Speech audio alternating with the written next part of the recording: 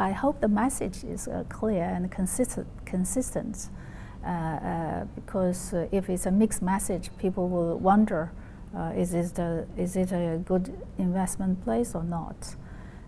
generally speaking, I think New Zealand is, has a very good reputation in China. And we hope you value that.